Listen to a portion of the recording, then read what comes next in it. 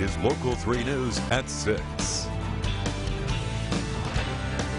Good evening. Thanks for joining us for Local 3 News in HD. I'm Cynthia Thompson. We are on location tonight at Tadych's Econo Foods in Marquette. It's part of Caring for the Copper Country. There have been some major developments today, just today, in regard to the Houghton area flood. Let's go through some of those. Number one, Gogebic County has been added to the list of counties included in the disaster declaration.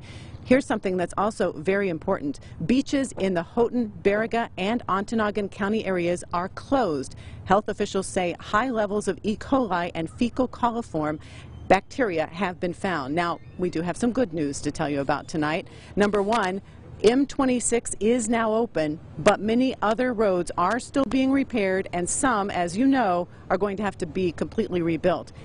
US 41 is now open between Chassell and Houghton, but you do need to be aware that in uh, some areas that road is only in a one lane situation.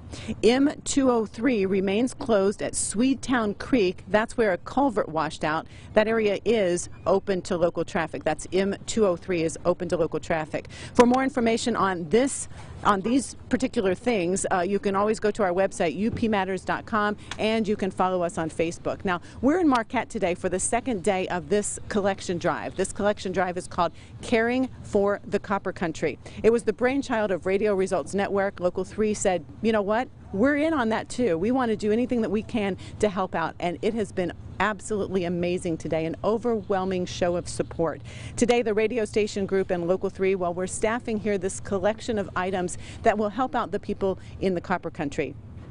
Of course, we're here at Econo Foods in Marquette. There was a four-hour effort yesterday in Escanaba at Elmers County Market. It was a huge success. It brought in a wide range of items needed for cleanup. Those included gloves, cleaning supplies, shovels, towels, and a lot more. Essentials are also being collected. That includes bottled water, food, toiletries, and hygiene products. Something that we also think is probably important in all of this cleanup and, and recovery effort is bug spray and sunscreen. Fans. Fans are also important in this for drying out wet basements and also for keeping some volunteers cool when they're helping people do whatever needs to be done in the Houghton County area.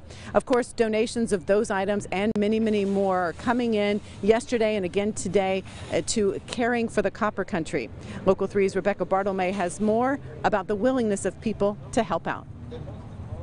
We donate canned foods, uh, water bottles, all that stuff. As the supplies piles up at Tadych's Econo Foods, people say they're happy to help out the people affected by the floods in the Copper Country. I think it's great to help the community out. Um, I'm originally a Yooper. I'm from Escanaba. Now we live in Marquette, so I think we got to stay all together as Yoopers and help each other. The Lampanins were just some of the people who shopped at Econo Foods and then dropped it off outside at the Care for the Copper Country donation drive. We have a semi coming today that's going to pick up all the items that are donated. We've already had a lot of generous people dropping off anything from toys to water, cleaning supplies. The store says if you miss the donation to still drop off items at the store and they'll find a way to bring it to the Houghton area. Both Local 3 and the Radio Results Network have spent the past couple of days trying to reach out to people on the importance of donating. So it's a, it's a huge opportunity for us to help out uh, help out the, the people up Houghton.